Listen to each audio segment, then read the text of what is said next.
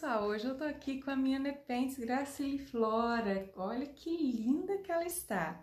Então, é uma planta carnívora ou insetívora. Eu ganhei tem uns 40 dias e ela formou esses jarrinhos, essas armadilhas que parecem com jarros.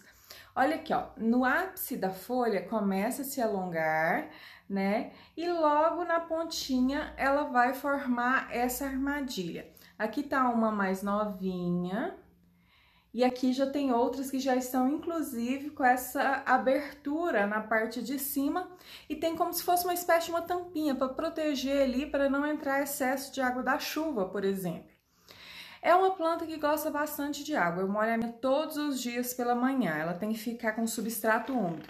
O substrato que eu estou utilizando é o Sphagnum né, uma, é uma briófita, ela se adapta muito bem a esse substrato, pega uma boa luminosidade, e aí, pessoal, na borda, ela tem atrativos aí para esses insetos que ao entrarem lá dentro, eles vão ficar presos, não vão conseguir sair, vão ser digeridos.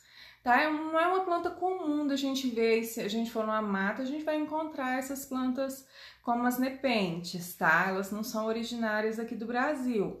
Mas hoje se popularizou muito aí o cultivo dessas plantas, que além de lindas, elas são, eu acho elas bem exóticas, né? Olha o tanto que elas ficam bonitas. Eu estou amando cultivar